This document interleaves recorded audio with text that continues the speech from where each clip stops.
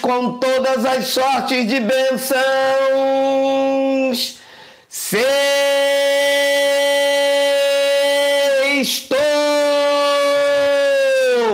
Hoje é um novo dia e um novo tempo que começou. Nesses novos dias, as alegrias serão de todos. É só querer. Esses nossos sonhos serão verdade. A graça já reinou. Hoje a graça é sua, hoje a graça é nossa, é de quem quiser, de quem vier. Sextou! A graça é sua, hoje a graça é nossa, é de quem quiser. Sextou! Quem vier, sextou! Sextou, abençoado! Acorda, menina, desperta, menina, levanta, menina, sai debaixo desse edredom aqui no Rio de Janeiro, 40 graus, enfia! Vamos! Há um milagre esperando por você. E você aí, cabisbaixa, com a boca cheia de dente, esperando a morte chegar, tô fora! Tô fora. É vida eterna para cima da morte. Quem crê em Cristo já passou da morte para a vida. Vamos vencer mais este dia, mais uma semana que foi vencida, mais uma semana lutas por fora, temores por dentro, desânimo, fracasso, a mente golpeada, bombardeada mas aqui está você, reinando em vida, em perfeita vitória, com fortes convicções. Vamos, joga o desânimo para lado, joga a fraqueza para o outro e vamos embora se encorajar porque desanimado, fracassado, já basta os próprios nomes. Você nasceu para reinar, você nasceu para governar, você nasceu para batalhar pela fé que já foi entregue a você. Bem-vindos sejam todos os meus irmãos, bem-vindos os novos inscritos, nossos novos companheiros deste programa matinal Manhã de Confissão de Fé. Este é o nosso momento, um momento em que a gente vai recarregando a bateria. É assim a minha salvação, graça eterna sobre as vossas vidas, sejam multiplicadas, encorajando, edificando, fortalecendo. Tá bom? Meu nome, vocês que são novos inscritos já sabem, Geraldo Moraes. Eu quero falar com vocês sobre a batalha no campo da mente, a batalha no campo mental. A mente é um campo de batalha. Pensamentos involuntários, negativos, porque os pensamentos positivos são aqueles saudáveis em que você se força a lembrar. Mas os golpes na mente, os pensamentos involuntários, estes são pensamentos que eles vêm de uma forma a golpear a sua mente, desestabilizando o nosso foco, tirando a nossa meta, criando uma fortaleza na sua mente, te fazendo acreditar que estão conspirando contra você, que a sua mulher não te ama, ou que o seu marido está te traindo que os seus filhos te abandonaram, que você não é feliz ou que você não vale nada. Esses pensamentos involuntários entram na sua mente de forma tão nociva que causa esta batalha espiritual, arriando, fracassando, desestimulando, causando uma fortaleza terrível na sua mente. E todas as lives eu sempre digo, Pessoas então ficam inquietas. Existem pessoas que nesse momento estão me ouvindo que só conseguem dormir à base de psicotrópicos. Pessoas que levantam duas, três, quatro vezes na noite.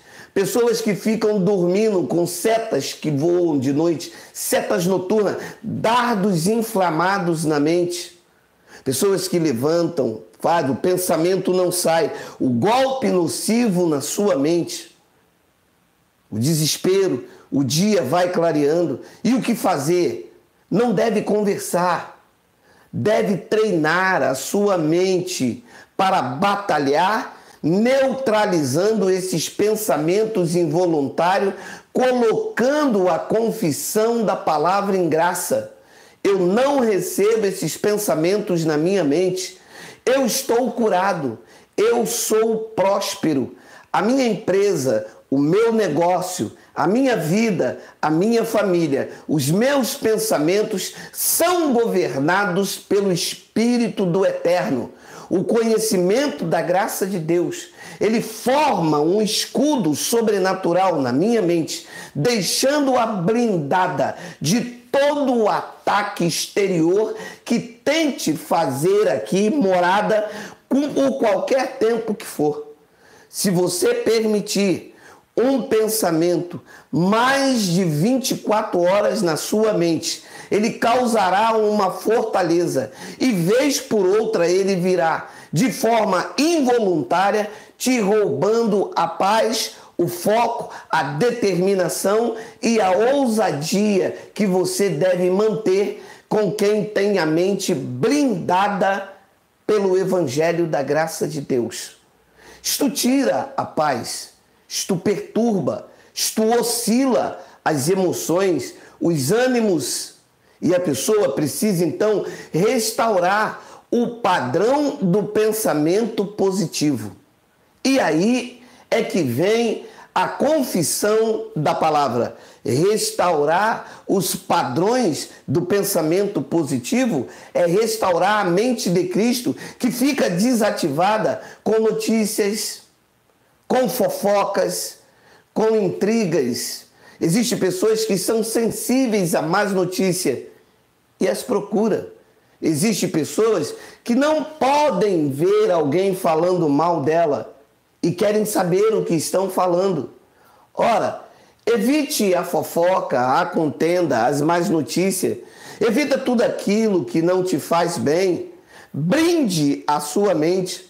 Foi exatamente Perdão, foi exatamente isso que o apóstolo Paulo disse aos Coríntios: Eu zelo por Deus, eu zelo por vocês com o zelo de Deus, para que vocês não permitam que a vossa mente se corrompa, porque assim como a serpente corrompeu Eva com a sua astúcia, seja corrompida a vossa mente e vocês se apartem da simplicidade que há em Cristo.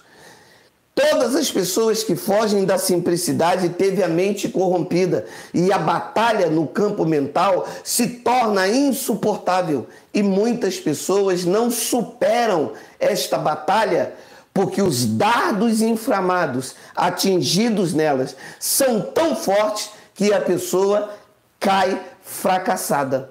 E fica aqueles pensamentos noturnos, setas que voam de noite, perturbação, vozes na mente.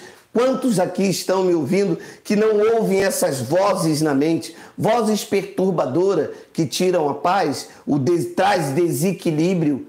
Por quê? Porque não brindaram a sua mente, perderam a pureza e a simplicidade devida a Cristo. É como o papai falava: procurou pulga em ovo, procurou e acabou achando esta grande batalha na mente, desestabilizando e trazendo este desequilíbrio mental. Mas amanhã de confissão de fé tem este propósito: levar até você essas armas poderosas em Deus, que você aprenda quando esses pensamentos involuntários vierem até a sua mente, você diga: Eu não te recebo, eu tenho a mente de Cristo, tudo o que é bom, o que é verdadeiro, tudo o que é de boa fama, tudo o que tem boa virtude e louvor, é isso que ocupa a minha mente. Eu não recebo pensamentos desastrosos,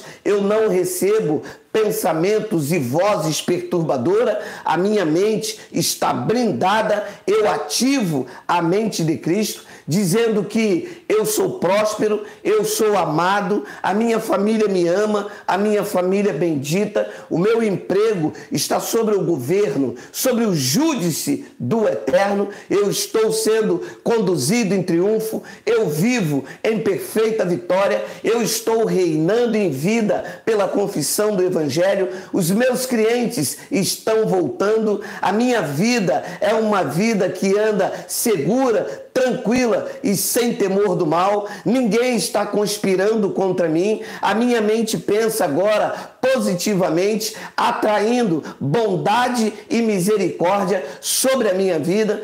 Todos os meus olhos têm a luz de Deus sobre a minha vida, eu estou curado, eu sou saudável, eu estou fortalecido pela graça de Deus, aonde me mostra que o amor do Pai sobre a minha vida é incondicional, nele eu estou aperfeiçoado, nada me separa do seu amor, contendas, falácia, disse-me disse e fofoca, não permito que entre na minha mente, porque neste momento eu estou blindando a minha mente, eu estou batalhando o bom combate da fé, deixando a minha mente fertilizada para que bons pensamentos fruam do Pai para a minha vida e assim, com a prosperidade do Pai fertilizada na minha mente, eu recebo a boa, a perfeita e a agradável vontade do Pai.